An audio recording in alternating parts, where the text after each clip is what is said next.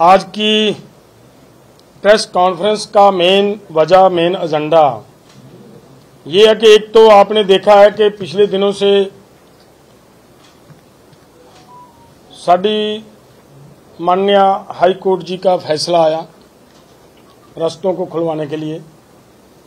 High high court के फैसले के बाद जो हरियाणा गवर्नमेंट ने अगले पाछे अपना काम किया, वो भी आप सबके सामने है। उसके साथ साथ एक इशू है कि जो हमारा नौजवान नवदीप जलवेड़ा जेल में बंद है, उसको रिहा करवाने के लिए हमारा प्रोग्राम दिया हुआ है सतारह और अठारह जुलाई का। वो एज इट इज़ जारी है। जब तक सरकार उन्हें रिहा नहीं करती, अगर सरकार उनको रिहा कर देती है तो फिर कोई किसी तरह का मतलब वहाँ पे जाकर प्रोटेस्ट करने की कोई मतलब नहीं होता।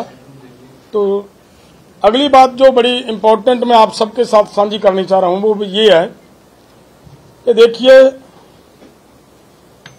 जिस समय शुभ कर्ण के मैटर के ऊपर चर्चा हो रही थी तो साढ़े हमारे माननीय हाई कोर्ट की तरफ़ से, हरियाणा गवर्नमेंट के ही एक अधिकारी, झज्जर के कमिश्नर साहब को, कमिश्नर, पुलिस कमिश्नर को ये जाँच सौंप दी गई है। ये बहुत अन्यायपूर्वक बात हो रही, नज़र आ रही है हमारे साथ। क्योंकि जिस समय Punjab and Haryana high court की तरफ़ से एक रिटायर जज की अगुवाई में एक कमीशन बनाया गया था, उस समय हरियाणा गवर्नमेंट सुप्रीम कोर्ट गई है। वहाँ जाकर उन्होंने जो बात कही है, वो बड़ी समझने वाली है। वहाँ पे ये कहा है कि इस जाँच को रोका जाए। अगर ऐसी जाँच होगी तो फिर पुलिस का जो मनोबल है, वो गिरेगा। सेकंड बात, उस, उन्होंने ये बात कही, बड़ी डेंजरस बात है। उन्होंने ये कहा कि अगर ऐसी इन्वेस्टिगेशन होती है तो फिर आगे से पुलिस किसी तरह की फायरिंग करने से हिचकिचाएगी। इसका मतलब क्लियर हो गया कि फायरिंग भी उन्होंने की। हमारे किसान जख्मी किए, हमारा एक किसान शहीद किया, लेकिन उसकी इन्वेस्टिगेशन भी ना हो पाए ठीक ढंग से, उसके लिए वहाँ तक गए। इसका मतलब क्लियर है कि अपने अधिकारियों के ऊपर शेल्टर करने का पूरा प्रयास किया शेल्टर देने का, हरियाणा गवर्नमेंट की तरफ़ से। अगर ऐसा है तो फिर उसी हरियाणा गवर्नमेंट के किसी अधिकारी को इन्वेस्टिगेशन देना तो ये समझ में नहीं आ रहा कि कैसे हो रहा है। वहाँ से इंसाफ मिलने की उम्मीद नहीं बचती हमारे लोगों को। हमारा, हमारी अपील है, हमारा निवेदन है कि माननीय हाईकोर्ट इस बात के ऊपर उन्हें विचार करें उन उन्हें उन लोगों को वो इन्वेस्टिगेशन देना उचित नहीं है। जो हमारा मानना है। दूसरी बात, एक बात और है कि रास्ता खुलवाने के मामले में मानयोग सुप्रीम कोर्ट ने ये कहा, हाई कोर्ट ने ये कहा कि ये रास्ता हरियाणा गवर्नमेंट तुरंत खोले विद इन वीक और उसके बाद हरियाणा गवर्नमेंट तो सुप्रीम कोर्ट में जाती है। तो इसका अर्थ ये निकलता है, स्पष्ट हो गया, मैं हमने पहले भी ये कही थी बात कि रास्ता किसानों ने ना रोका था, ना रास्ता रोकने की कोई हमारी भावना थी। लेकिन हम तो दिल्ली के लिए निकले थे। रास्ता तो हमारे आने से पाँच दिन, छह दिन पहले ही बंद हो गया था। तो किसानों को बदनाम करने के लिए एक नैरेटिव सृजने का प्रयास किया गया। तो अब हमारे सभी भाइयों को, और खास तौर पर मैं ये कहूँगा, व्यापारी भाइयों को, वैसे उनको समझ भी आ रही है, आने लगी है।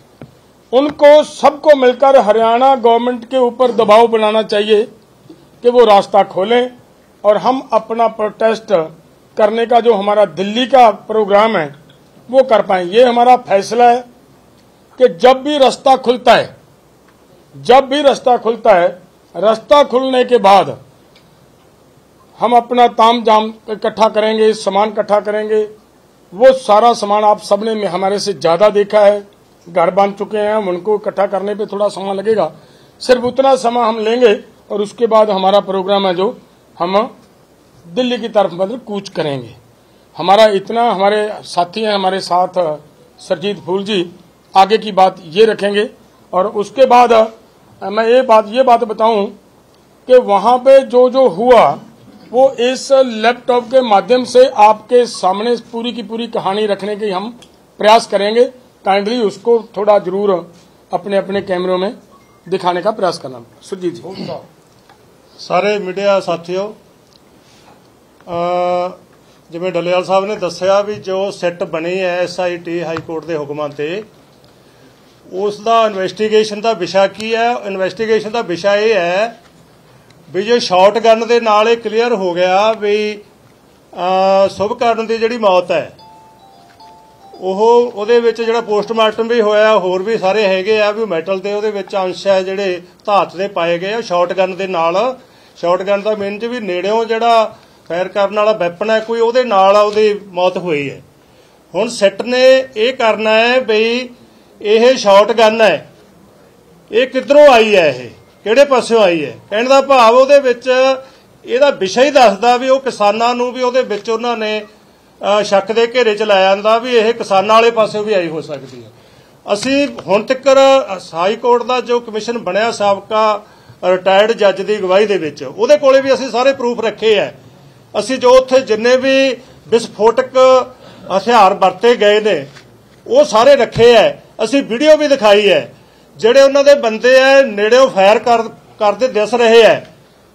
ਉਹ ਵੀਡੀਓ ਵੀ ਦਿਖਾਈ ਹੈ ਅਸੀਂ ਹਾਈ ਕੋਰਟ ਦੇ ਜਿਹੜਾ ਕਮਿਸ਼ਨ ਸੀਗਾ ਉਸ ਨੂੰ ਤੇ ਨਾਲ ਜੋ ਗਾਲਾਂ ਕੱਢਦੀਆਂ ਉਹ ਵੀ ਦਿਖਾਏ ਹੋਏ ਨੇ ਉਹ। ਸੋ ਇਸ ਕਰਕੇ ਜਿਹੜੀ ਇਹਨੂੰ ਇਸ ਦੇ ਘੇਰੇ ਚ ਲੈ ਆਉਣਾ, ਕਿਸਾਨਾਂ ਨੂੰ ਵੀ ਵੀ ਕੀ, ਇਹਨਾਂ ਤੋਂ ਤਾਂ ਨਹੀਂ ਕੋਈ, ਇਹਨਾਂ ਵਾਲੇ ਪਾਸੇ ਤਾਂ ਨਹੀਂ ਸ਼ਾਟਗਨ ਚੱਲੀ। ਇਹ ਅਸੀਂ ਸਮਝਦੇ ਹਾਂ ਵੀ ਸਾਫ਼ ਹੈ ਜਿਹੜਾ ਉਹ ਦੋਸ਼ੀਆਂ ਨੂੰ ਬਚਾਉਣ ਦੀ ਖਾਤਰ ਹੈ। ਤੇ ਫਿਰ ਗਾਹਾਂ ਇਹਦੀ ਜਿਹੜੀ ਇਨਕੁਆਇਰੀ ਵੀ ਹੈ ਇਨਵੈਸਟੀਗੇਸ਼ਨ ਵੀ ਹੈ, ਸਿੱਟ ਦਾ ਜਿਹੜਾ ਪੁਲਿਸ ਦਾ ਮੁਖੀ ਹੈ ਸਿੱਟ ਦਾ ਜਿਹੜਾ ਮੁਖੀ ਹੈ ਉਹ ਹਰਿਆਣੇ ਪੁਲਿਸ ਦੇ ਝੱਜਰ ਜ਼ਿਲ੍ਹੇ ਦਾ ਵੀ ਮੁਖੀ ਹੈ। ਕੀ ਉਹ ਜਿਹੜੀ ਪੁਲਿਸ ਪਹਿਲੇ ਹੀ ਕਹਿੰਦੀ ਹੈ ਵੀ ਇਹ ਕਮਿਸ਼ਨ ਹੀ ਨਹੀਂ ਬਣਨਾ ਚਾਹੀਦਾ ਹੈ? ਹਾਈ ਕੋਰਟ ਵਾਲਾ ਇਹ ਕਮਿਸ਼ਨ ਗਲਤ ਬਣਿਆ ਉਹਨੂੰ ਰੋਕਣ ਦੀ ਖਾਤਰ ਉਹਨਾਂ ਨੇ 100 ਹੀਲੇ ਵਰਤੇ ਹੈ। ਕੀ ਉਹ ਪੁਲਿਸ ਹੁਣ ਉਹ ਕਹੇਗੀ ਵੀ ਹਾਂ ਇਹ ਦੂਸਰਾ ਪੁਲਿਸ ਦੀ ਜਿਹੜੀ ਸ਼ਾਟਗਨ ਦੇ ਨਾਲ ਹੋਇਆ ਸੋ ਉਹਨਾਂ ਨੂੰ ਬਰੀ ਕਰਨ ਦੀ ਖਾਤਰ ਹੈਗੇ ਆ, ਅਸੀਂ ਉਹਨੂੰ ਰੱਦ ਕਰਦੇ ਹਾਂ। ਸਾਡੇ ਅਸੀਂ ਤੁਹਾਨੂੰ ਵੀ ਸਬੂਤ ਦਿਖਾਵਾਂਗੇ ਅੱਜ ਸਾਰਾ ਜਿਹੜੀਆਂ ਵੀਡੀਓ ਹੈਗੀਆਂ ਜਿਹਦੇ ਚ ਕਲੀਅਰ ਦਿਸਦੀਆਂ ਨੇ ਉਹ। ਤੇ ਬੰਦਿਆਂ ਦੀਆਂ ਜਿਹੜੀਆਂ ਜੈਕਟ ਹੈ, ਉਹ ਸਿਵਲ ਦੇ ਬੰਦੇ ਨੇ, ਦਿਸ ਰਹੇ ਨੇ, ਜੈਕਟ ਉਹਨਾਂ ਦੀਆਂ ਪਾਈਆਂ ਹੋਈਆਂ ਨੇ ਪੈਰਾਮਿਲਟਰੀ ਫੋਰਸ ਵਾਲੀਆਂ, ਉਹ ਗਾਲਾਂ ਵੀ ਕੱਢ ਰਹੇ ਆ, ਝੰਡਾ ਵੀ ਪਾੜ ਰਹੇ ਆ। ਪੁਲਿਸ ਵਾਲੇ ਜਿਹੜੇ ਪੈਰਾਮਿਲਟਰੀ ਫੋਰਸ ਦੇ ਵਿੱਚ ਨਹੀਂ ਹੁੰਦਾ ਵੀ ਕੋਈ ਗਾਲਾਂ ਕੱਢਦੇ ਹੋਣ, ਝੰਡੇ ਪਾੜਦੇ ਹੋਣ, ਉਹ ਸਾਫ਼ ਹੀ ਦਿਸ ਰਹੇ ਪ੍ਰਾਈਵੇਟ ਬੰਦੇ ਆ। ਉਹਨਾਂ ਨੇ ਉਹ ਜਿਹੜੀ ਸ਼ਾਟਗਨ ਦਾ ਨਾਲ ਹੋਈ ਹੈ। ਅਸੀਂ ਅਸੀਂ ਇਹ ਇਨਸਾਫ ਦੀ ਖਾਤਰ ਹੈ। ਅਖੀਰ ਤੱਕ ਅਸੀਂ ਲੜਾਂਗੇ ਲੀਗਲ ਫਾਈਟ ਵੀ ਲੜਾਂਗੇ ਐਜੂਕੇਸ਼ਨ ਵੀ ਲੜਾਂਗੇ, ਵੀ ਜਿਹੜਾ ਸ਼ੁਭ ਸ਼ੁਭਕਰਨ ਦੇ ਜਿਹੜੇ ਅਸਲ ਕਾਤਲ ਹੈ, ਸਾਡੇ ਕੋਲੇ ਹੋਰ ਵੀ ਪ੍ਰੂਫ ਆਏ ਨੇ। ਸਾਡੇ ਕੋਲੇ ਚਿੱਠੀਆਂ ਵੀ ਆਈਆਂ ਨੇ ਕੁਝ ਬੰਦਿਆਂ ਦੀਆਂ, ਉਹ ਅਸੀਂ ਕਿਤੇ ਫੇਰ ਕਮਿਸ਼ਨ ਮੂਰੇ ਰੱਖਾਂਗੇ ਵੀ ਅਸੀਂ ਗਵਾਹ ਹੈਗੇ ਆ, ਸਾਡੇ ਕੋਲ ਇੱਕ ਚਿੱਠੀ ਆਈ ਹੈ। ਕਿਸੇ ਬੰਦੇ ਨੇ ਪਾਈ ਹੈ, ਪੰਚਕੂਲੇ ਦਾ ਬੰਦਾ ਹੈ, ਵੀ ਮੈਂ ਸਾਬਤ ਕਰੂੰਗਾ ਇਹ, ਵੀ ਆਹ ਬੰਦਿਆਂ ਨੇ ਗੋਲੀ ਚਲਾਈ ਹੈ ਤੇ ਇਹਨਾਂ ਦੀ ਲੋਕੇਸ਼ਨ ਕੱਢ ਲਓ ਉਸ ਦਿਨ, ਉਹ ਅਸੀਂ ਸਾਰੇ ਦੇ ਸਾਰੇ ਰੱਖਾਂਗੇ। ਸੋ ਇਸ ਕਰਕੇ ਇਹਨੂੰ ਵੀ ਬਰੀ ਕਰਿਆ ਜਾਵੇ ਅਸਲ ਦੋਸ਼ੀਆਂ ਨੂੰ ਇਹ ਅਸੀਂ ਕਦਾਚਿਤ ਬਰਦਾਸ਼ਤ ਨਹੀਂ ਕਰਾਂਗੇ ਹੁਣ ਮੈਂ ਬੇਨਤੀ ਕਰਾਂ ਅਵਨ ਕੁਹਾੜ ਜੀ ਹਰਿਆਣੇ ਤੋਂ ਇਹ ਤੁਹਾਡੇ ਨਾਲ ਅ, ਜਿਹੜੀ ਵੀਡੀਓ ਵਗੈਰਾ ਉਹ ਤੁਹਾਡੇ ਨਾਲ ਦਿਖਾਉਣਗੇ ਤੁਸੀਂ ਆਪਣੇ ਕੈਮਰਿਆਂ 'ਚ ਕੁਹਾੜ ਸਾਹਿਬ देखिए सबसे ठीक है जी करें शुरू देखो सबसे कर रहे हैं, कर रहे हैं। घुमा देंगे सबसे पहली बात तो जैसा आदरणीय डलेवाल जी ने भी बताया कि किस तरीके से हरियाणा सरकार सुप्रीम कोर्ट गई थी कमीशन की जाँच के खिलाफ। उसी तरीके से कुछ ही दिन पहले हरियाणा के पूर्व गृह मंत्री अनिल विज जी का भी बयान है कि वो ज़िम्मेदारी लेते हैं और वो जिम्मेदार हैं इस गोली चलने के, क्योंकि वो गृह मंत्री थे और वहीं से आदेश हुआ था। ये मीडिया के माध्यम से भी पूरे देश ने देखा तो गृह मंत्री का, स्वयं का बयान ये बताने के लिए मोर देन सफिशिएंट था कि हरियाणा सरकार की तरफ़ से ही गोलियाँ चलाई गई। इसके अलावा साथियों, जो एक नरेटिव सेटअप करने का प्रयास किया गया भाजपा सरकार द्वारा कि भाई गोली शॉटगन से चली है और हरियाणा पुलिस तो शॉटगन इस्तेमाल ही नहीं करती। 2020 में बहुत सारे प्रतिष्ठित अखबारों की रिपोर्ट्स हैं, वो हम आपके साथ साझा भी करेंगे कि किस तरीके से इंटरनेशनल शूटर ने हरियाणा पुलिस के जवानों को शॉटगन चलाने की ट्रेनिंग दी है। ये खुद हरियाणा पुलिस के सीनियर अधिकारी बता रहे हैं कि हरियाणा पुलिस को ऐसी ट्रेनिंग दिलवाई गई है कि शॉटगन किस तरीके से चलाई जाती है। बहुत सारी ट्रेड फेयर्स की वीडियो है, जिसमें रैपिड एक्शन फोर्स वाले जवान दिखा रहे हैं कि वो किन किन वेपन्स का इस्तेमाल करते हैं।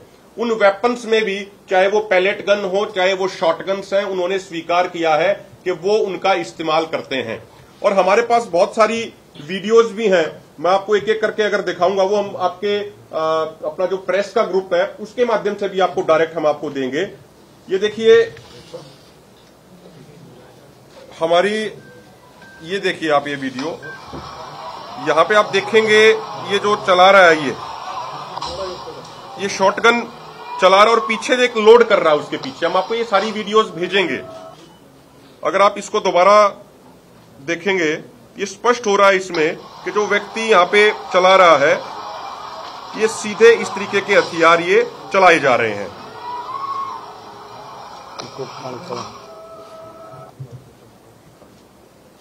उसी तरीके से अगर आप ये वीडियो देखेंगे ये किस तरीके से एसएलआर से ये फायर कर रहे हैं? ये सिविल ड्रेस में सबसे महत्वपूर्ण बात ये है कि कई बार माननीय सुप्रीम कोर्ट ये कह चुके हैं कि भाई किसी भी एजिटेशन में जो पुलिस वालों की ड्यूटी होगी, कोई अपने नेम प्लेट के बिना, कोई अपनी ड्रेस के बिना वहाँ पे नहीं जाएगा। लेकिन ये किस तरीके से माननीय सुप्रीम कोर्ट के नियमों की धज्जियाँ उड़ाई जा रही हैं, ये व्यक्ति एम करके एसएलआर के फायर कर रहे हैं, एम करके किसानों पे कर रहे हैं, यानी इनकी मंशा ये थी कि किसानों को मारने के लिए ही ये आए थे। आप ये स्पष्ट देख सकते हैं, अब ये दोबारा ये इनके हाथ में जो एसएलआर है, उसको ये उठा के देखिए, अब ये सीधा किसानों पे एम करके सर को निशाना बना के सीधा ये फायर कर रहे हैं। अगर आप इसी तरीके से ये देखेंगे कि किस तरीके से एक किसानों के प्रति नफरत इन लोगों के मन में थी, किस तरीके से किसानों के झंडे फाड़े जा रहे हैं, किस तरीके से गाड़ियाँ किसानों की तोड़ी जा रही हैं, ये देखिए आप। ये 21 फरवरी की खनौरी बॉर्डर की वीडियो है, किस तरीके से किसानों की गाड़ियाँ तोड़ी जा रही हैं। तो गाड़ियों ने तो कुछ किया नहीं था। ट्रैक्टर तोड़े गए। पानी के जो टैंकर थे, उनमें जहरीला केमिकल मिलाया गया। ये सारी चीज़ें। मैं एक दो वीडियो छोटी आपको महत्वपूर्ण है, वो और दिखाना चाहूँगा। ये देखिए आप, ये किसान यूनियन का झंडा उठाया जाता है और इसको अब ये पैर के नीचे रख के इसको ये फाड़ रहे हैं। ये वही सिविल ड्रेस में जो लोग हैं, जो काले रंग की जैकेट पहने हुए थे। फिर एक ये अभी फायर करेगा अभी यहाँ से। ये देखिए, इसने फायर किया है। तो ये थापी मारी है। थापी मारी है इसने। ये कौन सा नियम हो गया कि कोई थापी मारेगा कोई इस तरीके से फायर करेगा वो हमारे मोर्चे के अंदर घुस के वो फायरिंग कर रहे हैं जब किसान बहुत पीछे खड़े हैं। इसी तरीके के हमारे पास सैकड़ों वीडियो प्रूफ हैं और एम्बुलेंसों के ऊपर किस तरीके से हमला किया गया और जो हमारे उस समय मौके के डॉक्टर मौजूद थे वो ये बहुत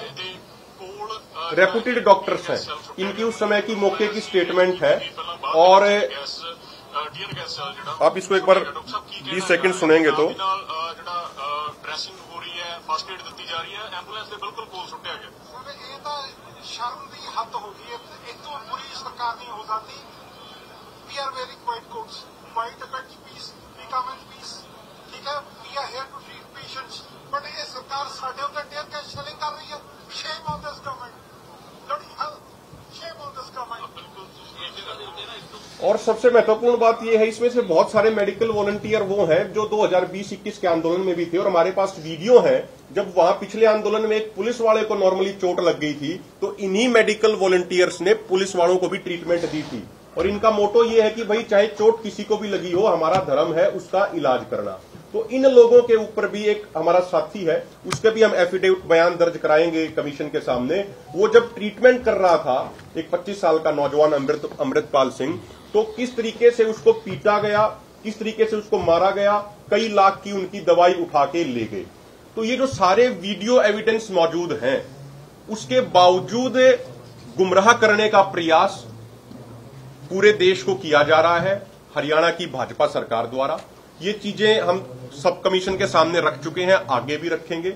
और अगर जिसके ऊपर आरोप है, अगर वही जाँच करेगा तो हमें लगता है कि फिर न्याय की उम्मीद नहीं करी जा सकती। इसके अलावा साथियों, दो छोटी छोटी बातें और हैं। हमारा सत्रह अठारह के कार्यक्रम के बारे में साथी अभी बताएँगे। 22 तारीख को 22 जुलाई को संयुक्त किसान मोर्चा, गैर राजनीतिक और किसान मजदूर मोर्चा का साझा कन्वेंशन दिल्ली के कॉन्स्टिट्यूशन क्लब में होने जा रहा है। जिसमें देश भर से 200 किसान संगठनों के प्रतिनिधि भाग लेंगे और वहाँ पे आगे की रणनीति बनाई जाएगी, जो हमने गैर भाजपाई सांसदों को एमएसपी गारंटी कानून पे प्राइवेट बिल लाने के लिए जो हमने मेमोरेंडम पूरे देश भर में सैकड़ों सांसदों को दिए हैं, उसी पे आगे की रणनीति बनाई जाएगी। और विपक्ष के जो नेता हैं, चाहे वो राहुल गांधी हो, चाहे अखिलेश यादव हो, चाहे डीएम की पार्टी के स्टालिन हो या और भी जितने भी विपक्ष के नेता हैं, उनको दोनों फोरम लेटर लिख चुके हैं और उनसे हमने समय मांगा है। और वो समय इसलिए मांगा है कि भाई हम एमएसपी गारंटी कानून पे प्राइवेट बिल को लेकर चर्चा कर सकें। वो बेशक सत्ता में ना आए हों, लेकिन उनकी पार्टी के मैनिफेस्टो में लिखा था कि एमएसपी गारंटी कानून बनाएँगे, किसान मजदूरों की कर्ज माफ़ी के लिए एक संवैधानिक आयोग बनाएँगे, अन्य ढेर सारी बातें उन्होंने कही थी। वो सत्ता में बेशक ना आए हों, लेकिन देश की जनता ने, देश के किसानों और मजदूरों ने इंडिया अलायंस को एक मज़बूत विपक्ष की भूमिका दी है। इसलिए उनकी ज़िम्मेदारी बनती है कि जो बातें उन्होंने कही थी, उस पर चलते हुए प्राइवेट बिल लेके आए तो उसी को लेके विपक्ष के तमाम नेताओं से हमारी मीटिंग भी होगी। उसके लिए हम उनको लेटर लिख चुके हैं।